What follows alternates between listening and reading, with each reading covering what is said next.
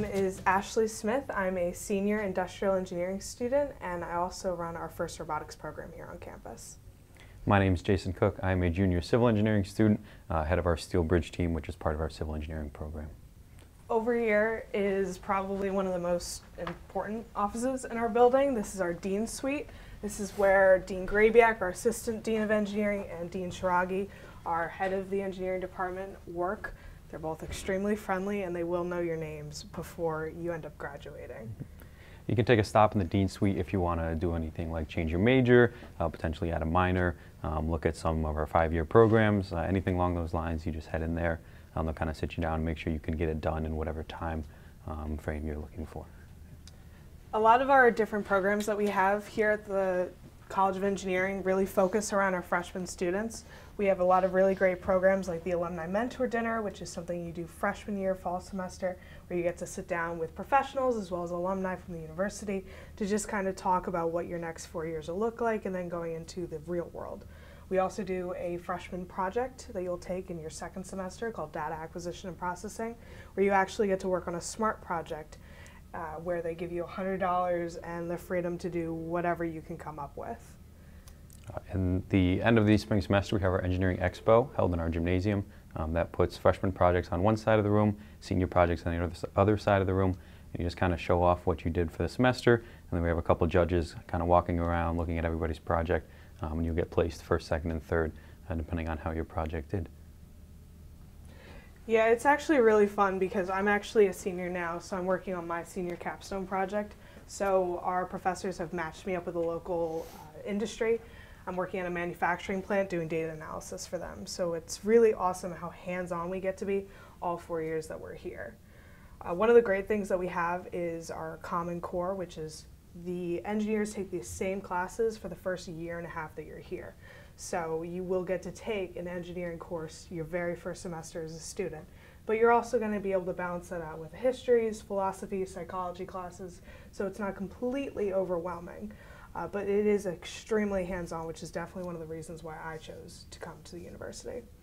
Yeah, the best part about, uh, in my opinion, about that Common Core is kind of the first year you're working with every type of engineer. So you may be civil like myself, but you'll be on a team with other biomedicals, um, or mechanicals, industrials. Um, you can work with pretty much anybody. You're not just restricted to um, your major. Plus, if you find out that you picked the wrong engineering, like I did, it makes it much easier to switch over when a lot of your credits transfer between the different majors. So you do have that freedom to kind of explore all six options that we have here at the university and find which one really works best for you. Over here we have our freshman project showcase. Earlier we were talking about those freshman projects. Um, these are some of the ones that have been done in the past. Um, like for example, you can see the foot mouse, uh, kind of useful for people who don't have hands, who can't use a regular mouse. They'll be able to still use the computer. Um, we also had, uh, the winner my year was the heat shield. Um, that was a firefighter's helmet that had LEDs built into the visor uh, that would kind of warn them like if there was too much carbon monoxide or smoke inhalation um, or other various things where they would know to get out of the building uh, and let a different firefighter come in and um, take control of, this, of the scene. Take a look at wood.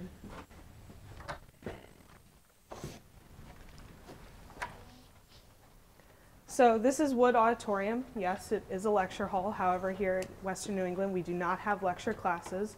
Uh, class size will typically be about 30 to 35 because you will be with everyone in your major at that level when you get into those upper level engineering courses. But in here, what we try to do is have uh, different speakers come in. We host events, plus we do our freshman uh, engineering projects in here as well as presentations as well as competitions. So what's really great about that is that you're kind of getting to compete in front of everyone plus it's getting you prepared to give presentations in the real world when you have to speak in front of like a hundred some odd people, which is really nice.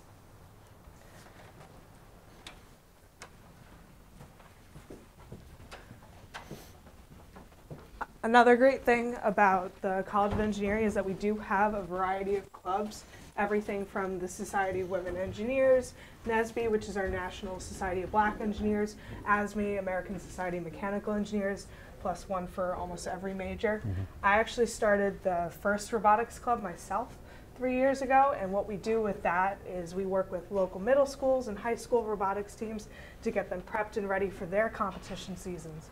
So what's really nice about that is we're taking the skills that we're learning in the classroom and then applying them outside the classroom. So we're doing real world application as well as learning mentoring and leadership skills as well. Plus we do host a couple of competitions on campus as well, which I'm very extremely proud of. This is kind of the main lab area on the first floor. Uh, mechanical and civil engineering are both kind of located on the first floor. Uh, so we'll kind of walk down this hallway uh, and take a look at some of the labs.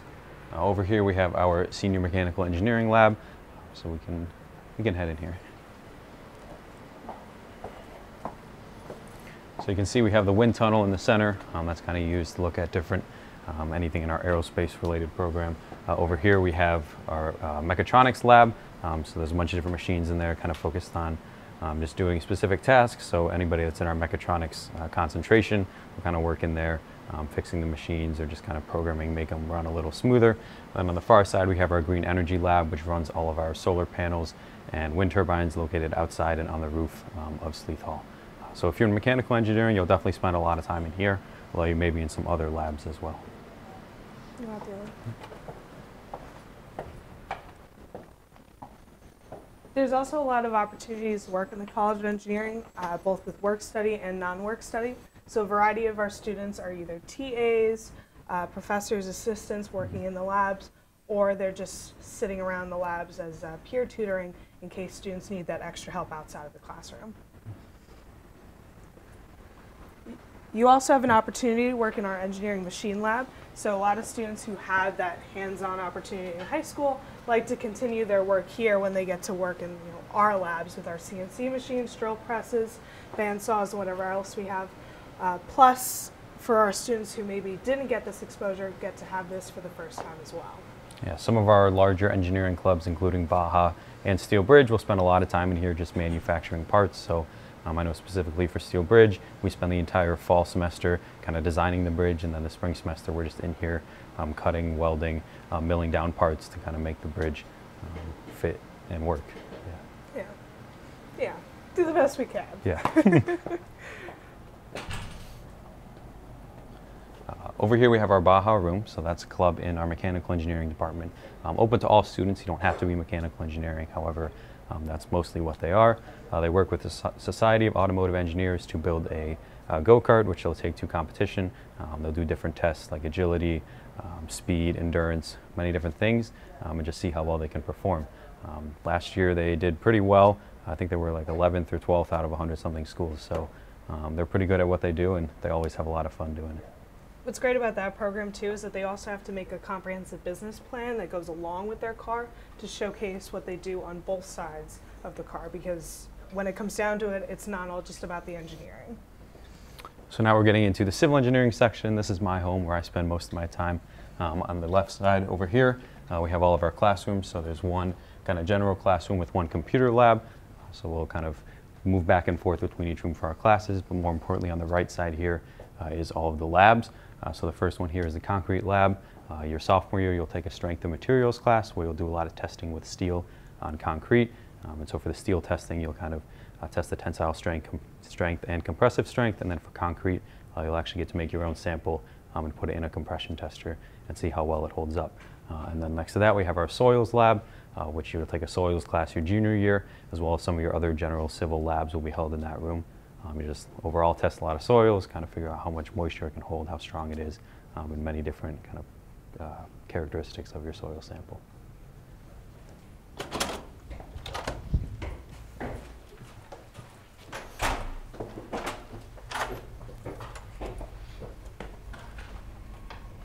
So this is kind of my wing of the building. We have a couple of different computer labs, which even though we don't have a lot of different fancy tech and tools to show my major industrial engineering. We have all of our online application programs that we use, everything from Minitab simulation programs, uh, as well as a variety of other things, especially Excel. Excel is probably one of the most important uh, tools that we use on a daily basis. So what's really great about that is that we do have all these practical applications we get to learn here. Plus, we also have a variety of programs that allow us to get certifications one of my favorite classes was Lean Six Sigma, which is a fancy organizational software uh, or program that you can implement on a project to make it run better, to do process improvement, or whatever else you're trying to reach as your goal. Uh, what's really great about that is that when you do graduate here, you are, you are able to get your green belt in Lean Six Sigma, which is something you can put on your resume. We're also working to have other certifications and things like OSHA and project management. So the fact that I can take these courses is really fun for me. Plus, I enjoy them. So. This section right here is for our biomedical department. A very similar setup to the civil engineering uh, wing. Uh, over here we have two classrooms, uh, and then on this side we also have labs. Uh, we can head into our instrumentation lab.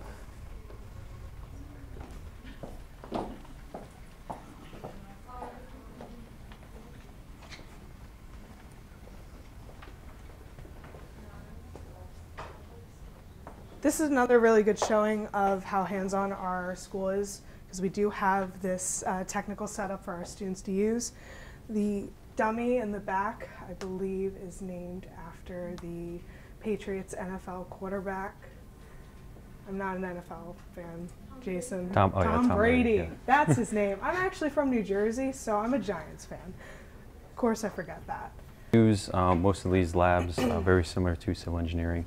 Um, you'll take a few lecture classes as well as a few lab classes, so they'll kind of be um, in here just kind of learning how to use all this equipment as well as, you know, in our hospital suite, learning how to actually apply any of the stuff they um, come up with and use to a, well, in this case, a dummy, um, but to get it right before, you know, they actually go and use it.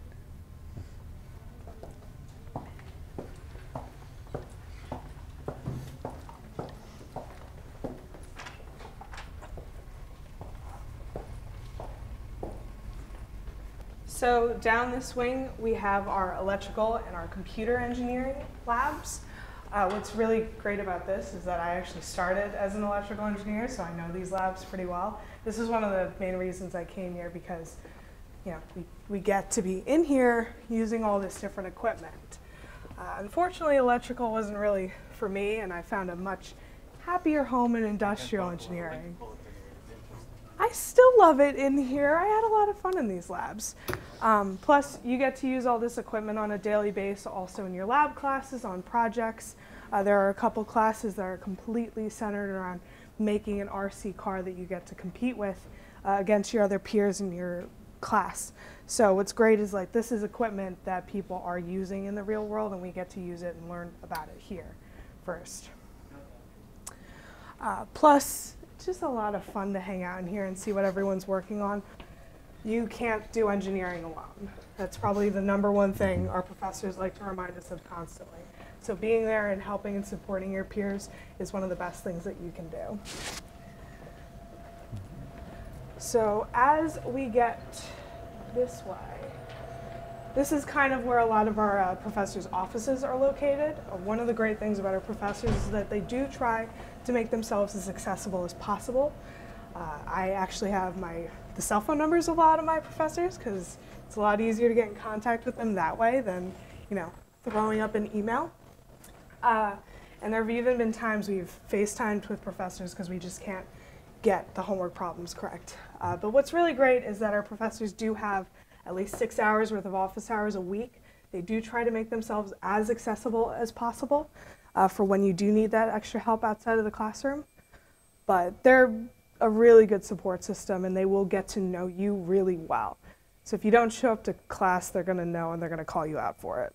Yeah, like Ashley said, you can't do engineering alone.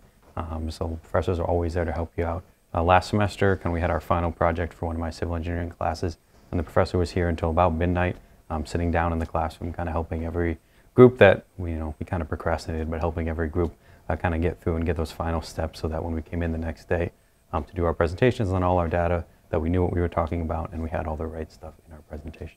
Um, so yeah, it's nice that they're always there for you and always ready to help and willing to help as well. The best thing you can do is just go to their office and Mhm. find them because if you do, they will do their best to, to help you in that manner. Um, one of the other great things uh, about our professors is that you know they will get to know you plus you do have an advisor within your major who's there to help you pick courses figure out what the right track is for you my professor was really helpful for me to figure out my little switch in the middle of my junior year uh, and helped me figure out which classes to take over the summer and how to kind of narrow that down so I don't have to spend too much extra time uh, taking extra classes.